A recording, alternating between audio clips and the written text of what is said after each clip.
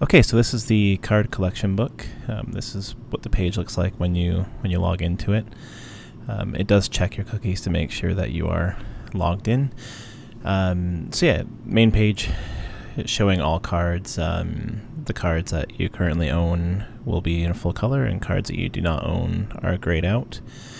Um, here at the top, this bit here changes when you change the card type filter here. Um, also down here is contextual filters, so um, there will be more filters that show up depending on the type of card that you've picked. Um, there's arrow buttons here that let you iterate through the pages. You can go through all of the cards. These are all the cards here. Um, let me show you this here. Okay, so you can pick um, between all, Avatar, Magic, or Trap. If you pick Avatar, this bit here updates saying Avatar cards. Um, the contextual filters change as well. Um, so you can pick based off of class. You can switch it to Aquatic and only show the Aquatic cards. You can switch it to Bug, show the Bug cards.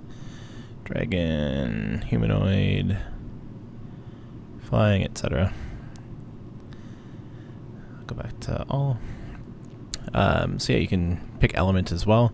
If you want um, fire, let's say, I'll show you all the fire cards. And I'm going to go, let's see if there's any size zero cards. There we go. Some size zero ones. Size one is a blazing king. There's no size two cards. Uh, we'll go dark you can pick rarities. I'm just gonna go to all cards here and show the rarities.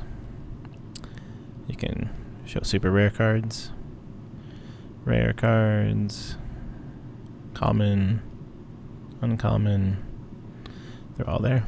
Um, you can go to magic cards and this updates it goes by effect, target, and rarity as well.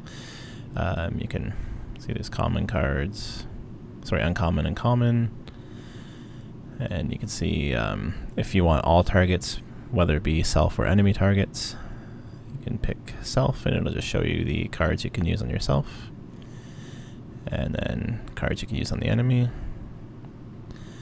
And there's also the effect, um, attack effect, multiply attack, etc. You can go through and it'll...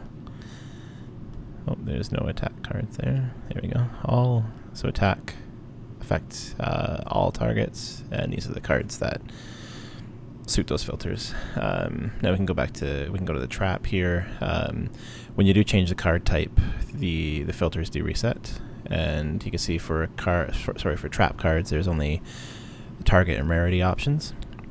I can switch it to super rare.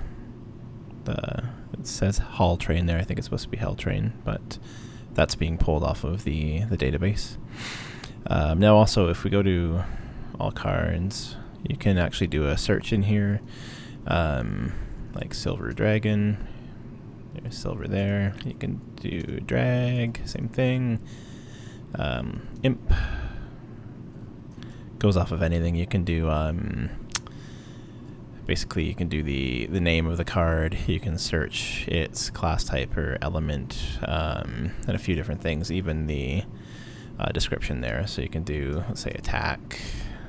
This is the only card that says attack in the description, so skip the attack action.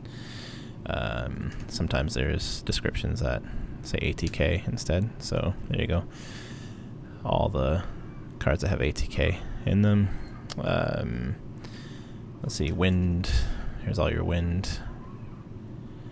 Wind monsters. Uh, let's say fly. Here's all your flying ones. Yeah, that's basically it. That's a, a simple search and you can go back to all cards again and, and look at them all. Um, so yeah, that's basically it. Uh, pulls all the cards off of the database, um, populates all the information from the database into the cards, and uh, yeah, it's pretty, it's fully functional. It